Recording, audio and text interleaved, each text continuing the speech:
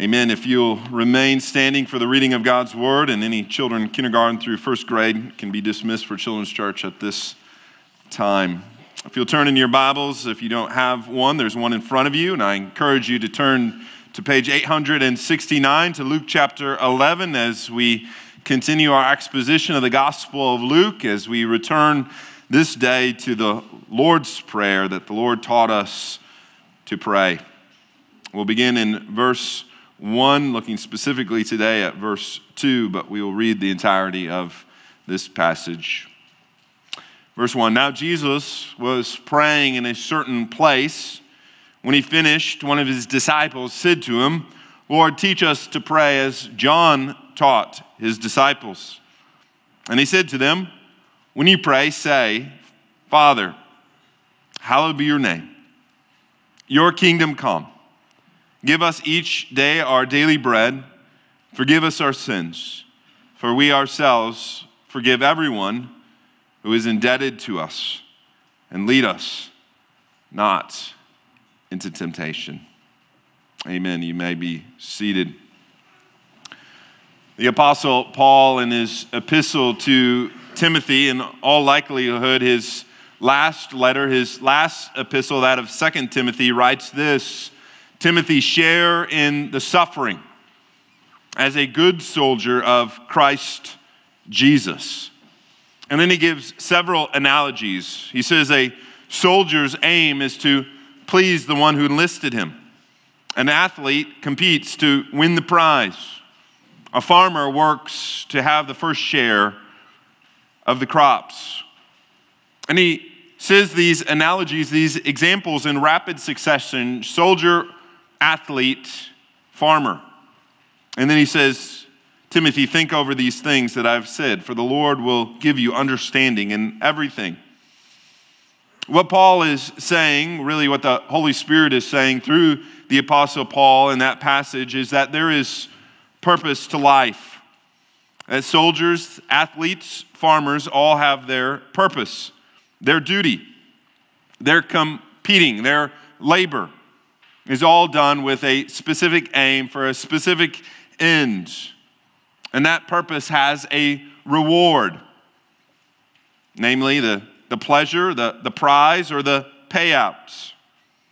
If not, why do those things? Why be a good soldier, a hardworking athlete, or a diligent farmer if there's nothing to gain from it?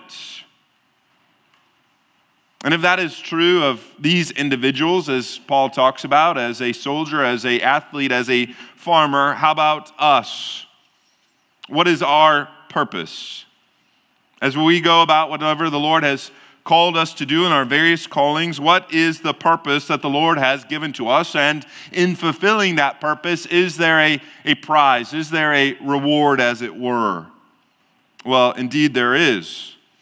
And we, as Reformed and Presbyterian believers have been given the unique privilege of growing up with that purpose ever before us. It comes in that first question and answer of the Westminster Shorter Catechism. What is man's chief end? Or you could say, what is man's chief purpose?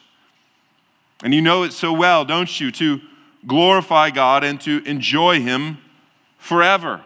There we have the purpose, which is to glorify God, and there we have the, the prize or the privilege or the pleasure, is however you want to put it, to enjoy Him and to do so forever. In many ways, it's the, the summary of existence, our existence, your existence in seven words. Five words if you remove the preposition and the conjunction glorify God, enjoy Him forever. That's it, right there in a nutshell. And again, I, I love the aspect that our forefathers added that word forever because that purpose does not end, does it? It's what we're called to do today and tomorrow and a week from now and 50 years from now, and as long as the Lord would tarry. And in fact, we will be doing that for all of eternity. We'll be doing it forever. Why do I say all of these things?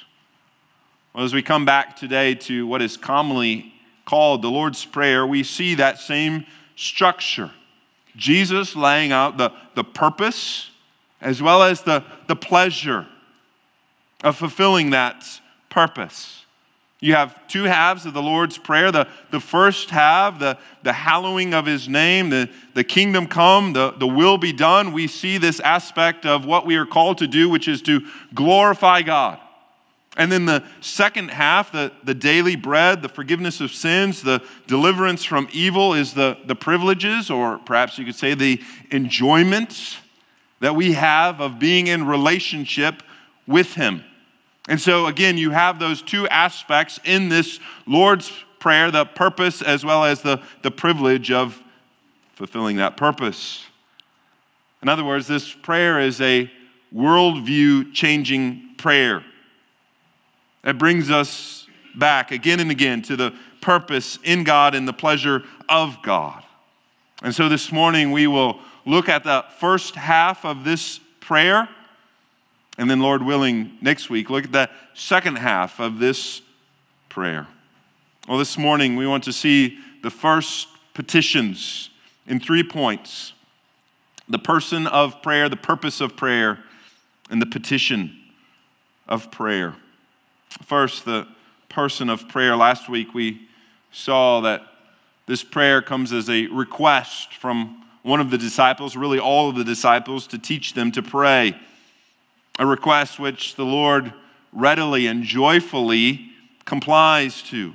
Why? Because prayer is the lifeblood of any Christian, of any follower of Christ. It's as air is to the lungs, so prayer is to the Christian. We absolutely need it, don't we?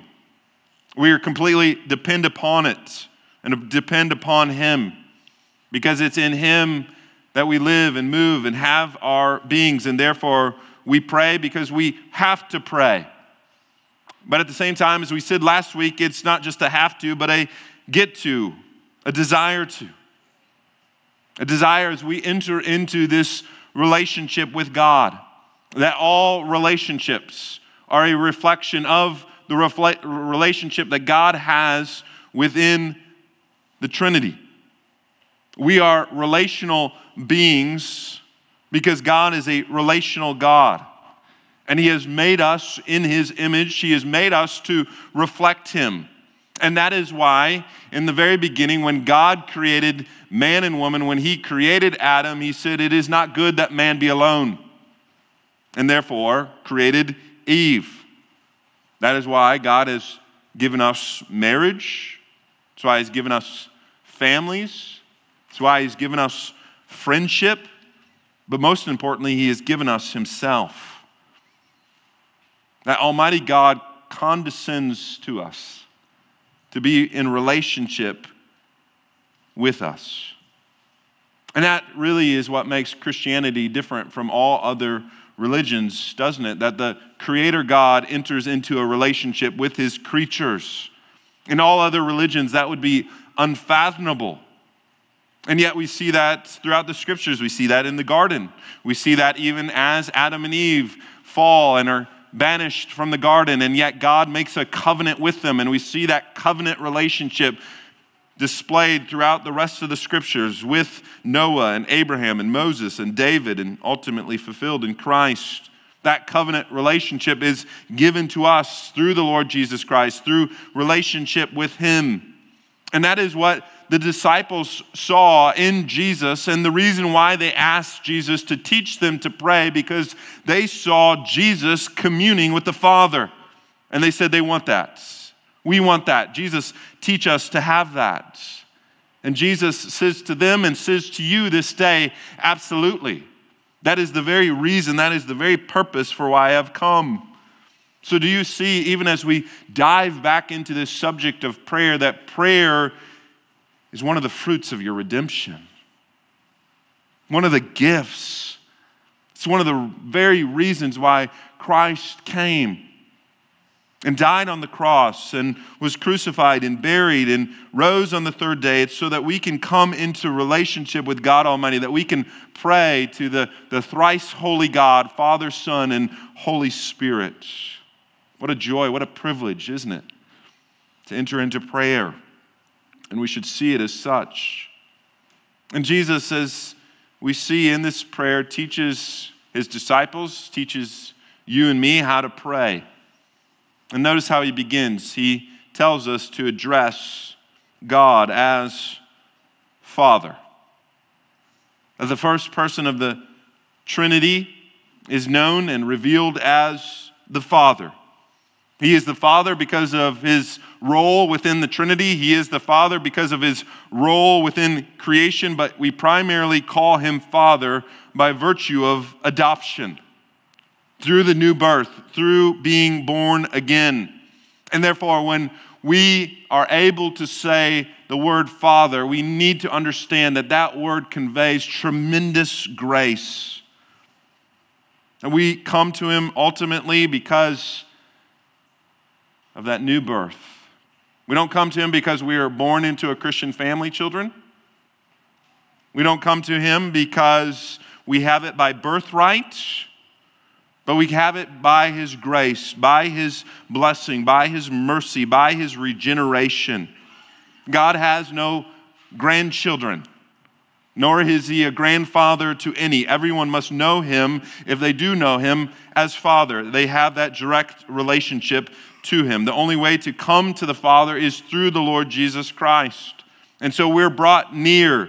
We're brought into the household of God by the blood of Christ, and that is by grace alone. Yes, God is fatherly to all,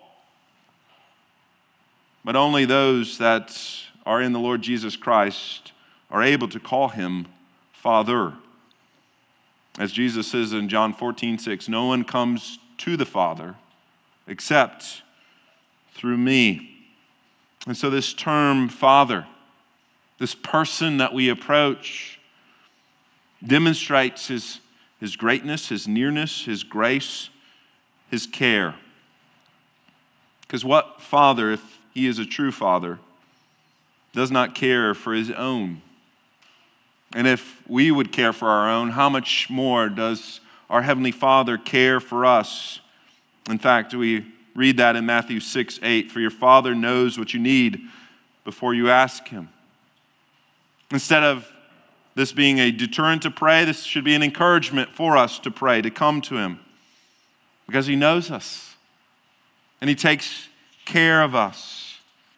He knows every need before we ask. In fact, he tells us, at least Peter tells us, 1 Peter 5, to cast our cares upon him because he cares for us. He is our Father. He has revealed himself as such. He is to be known as such. He is to be addressed as such. Now, I know in this day and age, that term father can have mixed emotions, mixed feelings. Not everyone had a father in their life, not everyone had a good father, but yet, if you are in the Lord Jesus Christ this morning, you don't just have a good father, you have the greatest of fathers. One in which you have the privilege of coming into his presence day and night, one that cares for you. And as such, he redeems us as, as men and women that now are able to, to reflect Him. And so, even though you may not have seen it, maybe you didn't have it in your earthly parents, you can now have it through regeneration. And regeneration gives you a new start, it gives you a new beginning. You have a new relationship, a new bond, a new love, a new hope that is conveyed, all through that term, Father. What a sacred privilege it is to call him Father as adopted sons and daughters of, of God. It's also why we need no intermediates, Stewie, or inter, intercessories that go between us. We can go to God directly. We don't need to go through a priest. You don't need to go through a pastor. You don't need to go through or pray to the saints. You don't need to pray to Mother Mary, do you? You can go directly to God in prayer. Christ has given us access to Him. And therefore, even as Bobby prayed this morning in our call to prayer and, and our invocation, that we would even come boldly because of that relationship that we have in God. Well, that is the purpose, or that is the person of prayer. Second, we see the purpose of prayer. This first petition is Hallowed be your name. That word hallowed, we don't speak of much, we don't use that term, but it means to set apart, to sanction, to, to glorify, to exalt. And to hallow his name, the, the name of God represents the whole of who he is. Now, we can't capture the whole of who he is because he is infinite, but his name conveys his infinite nature. And so, if I could paraphrase this first petition, it would be Father, make the whole of you to have the whole praise and glory and honor that is due. Father, may the whole of you be given the whole praise and glory and honor that is due. Now, why is it that we would be praising or exalting God? Is it vainglory for us to exalt God? That God would desire praise, that He would desire glory, that He would desire worship from us? That would be a legitimate question if He was a man or if He was another created being or something that was created. In fact, that would be idolatry. But this hallowing, this praise, this glory, this worship is not giving something to God that He does not already have. He, being God, is already all glorious, infinitely so. He already is hallowed, hallowed as the one and only God. And so God is not gaining anything by us hallowing his name or worshiping or glorifying him, as in if he didn't have it already. And so let us not think as we pray, as we worship, as we glorify God, that, that God is, is getting something that he does not have already in himself. Paul tells us this in Acts 17 25. He is not worshiped with mere hands as though he needed anything. So, what is happening when we pray this prayer? We are praying that we, as well as all the world, would recognize who He is, would recognize His glorious revelation, and that would be made known throughout the earth. That there would be a, a greater revelation, a greater knowing, a greater display in this earth of who our God truly is. Now, God has made himself known, so much so that men are without excuse, Romans 1, but he has not made himself fully known. And that is by his grace, right? And mercy. Sinful man could not contain the whole of our God. You remember Moses asked God to see his glory. And you would think if there was anybody worthy enough to see the, the fullness of God, it would be Moses. But what does God say? Even to Moses, no, no man may see the fullness, the wholeness, the, the, the face of God and yet live. And so he hides Moses in the, the cliff of a rock and only sees the, the backside, as it were, the, the train of his robe. And yet, what happens? Moses' face shines as a result. So, God has hidden the fullness and the majesty, the glory of his being, but also man in his sinfulness and rebellion has suppressed even the knowledge of that which he has revealed. And so, hallowing the name of God is asking God to reveal as much as he is able to reveal to a sinful humanity, that we and all of earth would receive that which is giving. So, hallowing God's name is not giving to God something that He does not have, it's, it's bringing us rather into alignment with who He already is and putting our hearts and our minds in that. Let me put it this way in the sports word world, you, you've probably heard athletes say something like this game recognizes game. Which is one way of one athlete recognizing the, the game or the athletic abilities of the other. And yet at the same time, it, it kind of puts them as equal. To, to have game, you need to, to recognize game, and you got to have that game to recognize the other person's game. And so it's, a, it's a, a way of giving a compliment, giving honor, but at the same time, kind of honoring yourself, isn't it? Complimenting yourself. So when we're hallowing God's name, are we some ways trying to elevate ourselves or give ourselves a compliment? No, it's quite the opposite, isn't it? We're not putting us as equals with God, but actually holy as unequals with God. It is the unhallowed recognizing the hallowed one it's the unholy recognizing the holy. It's the, the finite recognizing the infinite. It's the unrighteous recognizing the righteous one. It's the creator recognizing the creator. It's the one that is dust recognizing the all glorious one. And we could go on and on and on, but really, in this first petition, it is putting us in right alignment with God that He is the true creator God and that we are the creature, that He is God and that we are not. And we need that reminder, don't we? That the world does not revolve around us, but rather we revolve around God and His purpose. And so this is a very much a worldview corrector, as I mentioned. This puts us and God in our proper place.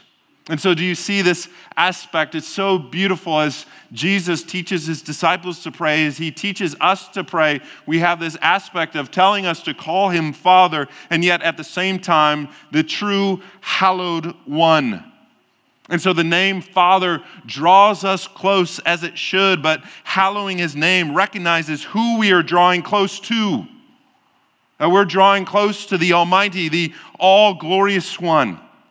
That yes, He is our Father, but He is not our buddy, or He is not our pal, or He is not just the, the man upstairs. He is the magnificent, all glorious King of kings and Lord of lords. And so our hearts draw near, while at the same time our knees should quake as we approach Him.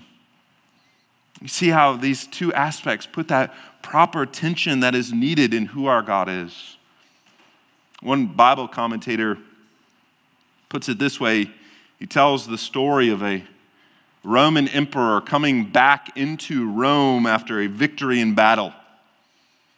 And the streets were lined to welcome the victorious soldiers and specifically the victorious emperor back into Rome. And one little boy was not content to stand alongside the road, but rather ran towards the emperor's chariot.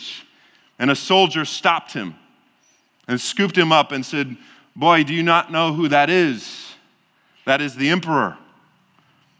To which the boy says, He is the emperor, but he is also my father. For this was the little boy of the emperor himself. And it, it puts that aspect of, yes, he is the emperor, but he is also my father. And that is the same way as we approach God, the mystery of entering into this relationship and communion with the Father in prayer is that he is at the same time the sovereign God, the King of kings and Lord of lords, and at the same time our Father, drawing us near. Together, it demonstrates the, the immanence and the transcendence of God that we ought to have as we approach this relationship. So, with asking God's name to be hallowed, what is it that we are asking? Well, first and foremost, I think that the name of God would be first and foremost hallowed in us. You remember when Chike G.K. Chesterton was asked to write a newspaper article answering the question, What is wrong with the world today? He wrote back, What is wrong with the world today? I am. Sincerely, G.K. Chesterton. That is true, isn't it? What's primarily wrong with me is that I do not hallow the name of the Lord. I don't live in this proper relationship as I ought to. I don't have this proper framework. And this hallowing of God's name puts again that single minded, wholehearted devotion that we need for the Lord and in the Lord. And so, praying that the, the name of the Lord would be hallowed, it would be hallowed in, in me, in what I say, in what I think, and in what I do the whole of me would be given to the whole of God in praise and worship. That is our, our purpose, isn't it? Even as we began, that is what must start with us and would be true of our families, Lord willing. Like Joshua says, for me and my household, we will serve the Lord. We will give him honor and glory and praise. And so, hallowing this name, I think it needs to start with, with you and me. Second, we would hallow the name and we would ask that the Lord would be hallowed in his church. Those that call upon the name of the Lord, those that the Lord has placed his name upon in the sacrament of baptism, as we've seen the last two weeks, as we're baptized into the name of the Father, Son, and Holy Ghost, that we would represent that God on earth. That we as the church, and when I say church, I mean small c church, Smyrna Presbyterian Church, but also the, the big C church, the universal church, would be devoted to God and His purpose and His cause. That we'd be sanctified and, and set apart. We need to be reminded, and oftentimes I think we forget this, that who we are is far greater than what we do. Who we are in God and is far greater than what we can do for God. And I think God would place a higher importance upon that. Not that we aren't to, to do things for God and to give Him glory, but who we are as sanctified and redeemed individuals would give God greater glory than what we are able to accomplish for His cause. Robert Murray M'Cheyne, which was a Scottish pastor, in the 1800s writes this. He's speaking to ministers, but it applies to all Christians. He says, How diligently the cavalry officer keeps his saber clean and sharp. Every stain he rubs off with the greatest care. M'Cheyne says, Remember, you are God's sword, his instrument, a chosen vessel unto him to bear his name. In great measure, according to the purity and perfection of the instrument will be the success. He says, It's not great talents God blesses so much as great likeness to Jesus. And he finishes with this a holy minister is an awful weapon in the hand of God. A great weapon in the hand of God. And that is true not of just ministers, but of all believers. That we would be hallowed unto his cause and unto his name. Third, we would ask that God's name be hallowed in the world, in North America, and South America, and Europe, and Africa, and Asia, and around the world. And that is what we're praying. God, reveal yourself. Perhaps better, remove the blinders that mankind has from seeing the glory that you have already demonstrated, the majesty and awe of who you are. Would you do that with my family? Would you do that with my coworkers? Would you do that with my neighbors? Would you show your purpose in their life? That they are created beings to glorify you and they'll never be satisfied, they'll never be content, they'll never be blessed until they do recognize that that is their purpose. That is their calling. So, hallow your name. Do you see how this petition, and we could go on and on, puts our purpose in prayer, our purpose in life, our, our purpose, all of creation's purpose into its right perspective. It brings us back to the original meaning, the original way we were created. And that is to give God glory and praise. Well, third, then, we have the purpose of prayer, we have the petition of prayer. He goes on to say, Let your kingdom come. And in many ways, I think all of these other petitions that we will see, both this morning as well as next week, are a fulfillment of that first petition. That your name would be hallowed. Well, how is God's name going to be hallowed? Well, it's going to come when his kingdom comes, as his kingdom is implemented in this life and in this world and in our hearts and in our minds. That God's rule and reign, that's what we mean by kingdom his rule and reign would be extended on this earth under the rule and reign of Christ. Again, we're not praying something that's not true, it already is true. All of life is under the rule and reign of Christ. That's what we believe in the sovereignty of God. But ever since the fall, the world, the flesh, and the devil are in rebellion against that rule and that reign. And Christ has come to establish his own kingdom, the kingdom of this world. The kingdom that is being defeated, which is the kingdom of the devil and the kingdom of the flesh. This is praying, Christ, would, would your kingdom utterly dominate that kingdom? Would it be brought into conformity? And that's how we should see the world. And in fact, that's how we should pray for the world.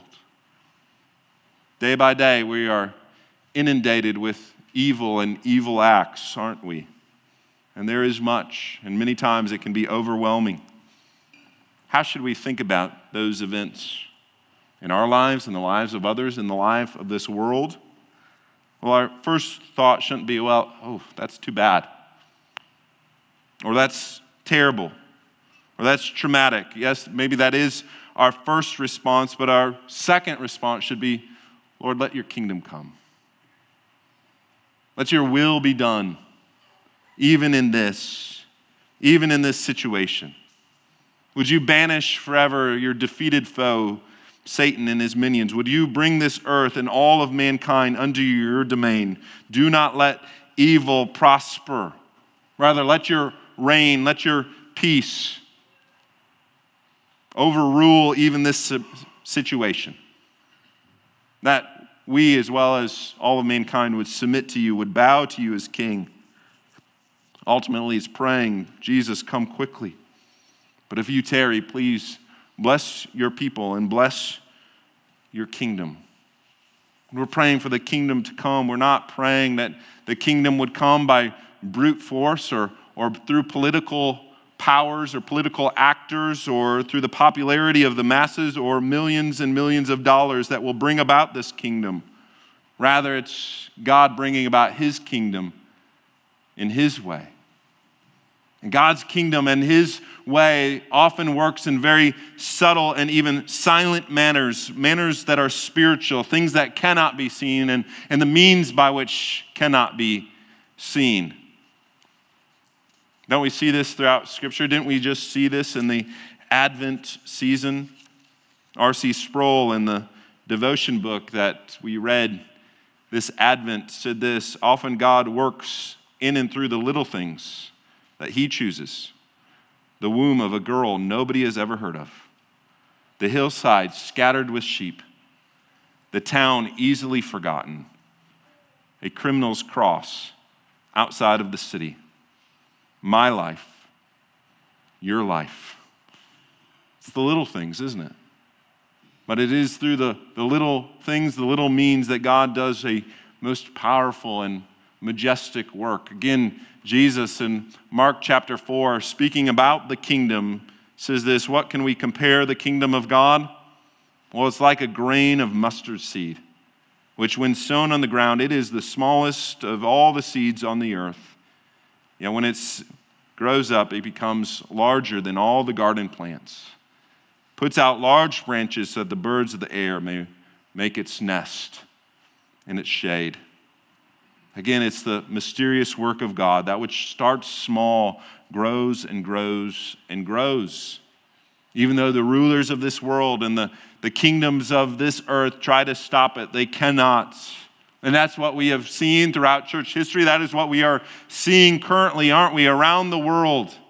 Where is it that the, the church is being built up and the kingdom is extending? It's, it's taking places in, in nations like China and Indonesia, in Africa and in Kenya Places where we would say, humanly speaking, the church shouldn't be prospering, it shouldn't be flourishing. No, there's too much opposition, there's too much things that are standing in way of its growth, and yet what we see is greater the opposition, the greater the growth.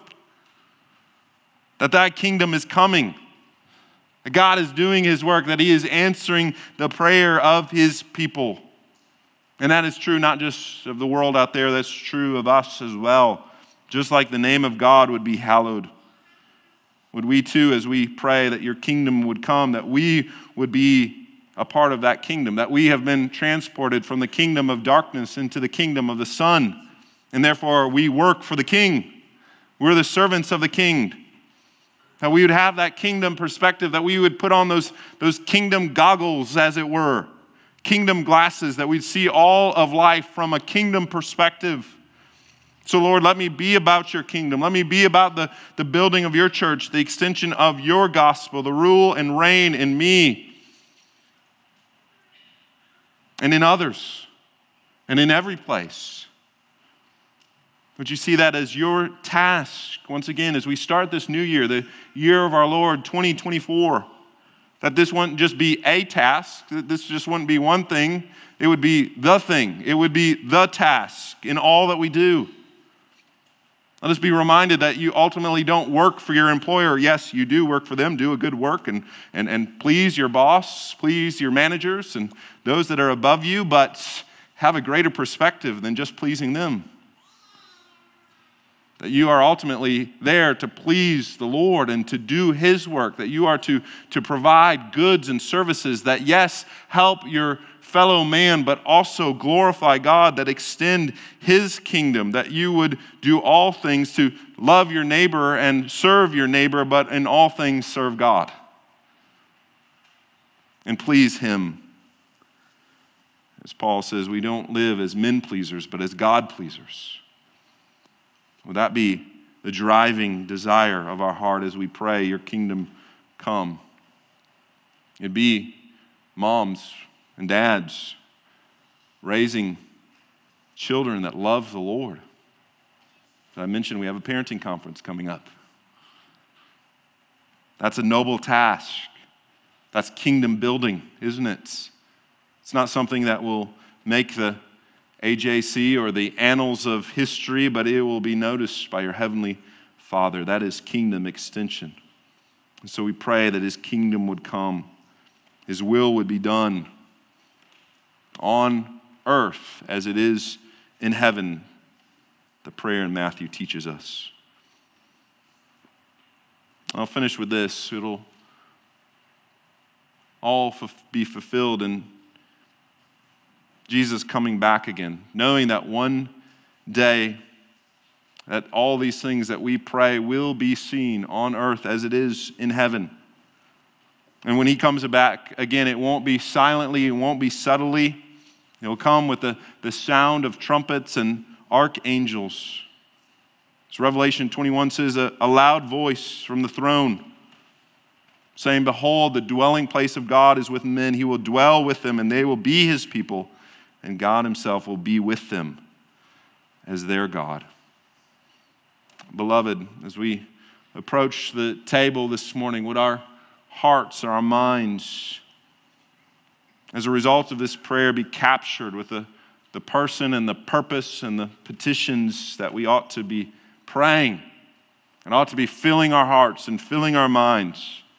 These God exalting, God glorifying prayers because that fits in the purpose for which we are called and that which we have been given in Christ. That his name would be hallowed, that his kingdom would come, that his will would be done. And it would be done in me, it would be done in you, it would be done in this church, and it would be done in this world, all until he comes again. Would we join in this prayer? What a prayer to pray as we think of how great is our God. Well, let's pray even now. Lord, we thank you and praise you for this perspective, and we come even now as we approach this table confessing that oftentimes we don't have that perspective. We don't have the, the God glorifying, God exalting prayers and thoughts that we should. And so, Lord, first and foremost, we pray that we have a view that is too small. Would you give us this day a, a view that is much greater of a God that is high and lifted up, that is exalted, the train of your robe filling the temple, your infinite being that is greater than all of the heavens and all of the earth. In fact, the heavens and the earth cannot contain the greatness of who you are. Would we come, Lord, this day in fear and trembling, but would we come also boldly because we can come in the name of Christ, calling you Father, because of the blood and righteousness of Christ that draws us near, that draws us even to this table as you meet, eat, and commune with your people through this Lord's Supper. Lord, we thank you for the privilege of calling you Father, of entering into prayer, even as we do now. For we pray this in Christ, our Savior's name. Amen.